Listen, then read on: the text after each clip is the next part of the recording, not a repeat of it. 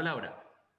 Sí, no, en la misma línea de lo que planteó la diputada, sí, le, esto no, y lo que planteó la, a través de su nota la senadora Sagnun, esto no, si bien uno se, entera de determinadas cosas a través de la prensa, hay una diferencia entre una nota de opinión y una nota con, fuentes.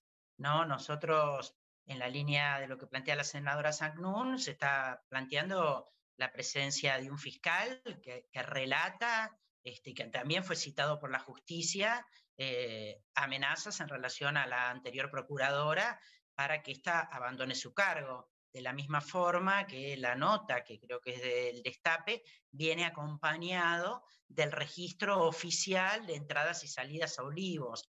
Entonces creo que son hechos documentados que, como usted bien dijo, no solo forman parte de las tareas de esta bicameral, sino que este, hablan de, una situación que, merece ser este, rápidamente investigada porque los efectos de esas actuaciones este, inciden sobre causas vigentes también.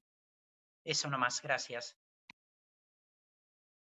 Gracias, eh, señora diputada. Tiene la palabra la senadora María de los Ángeles.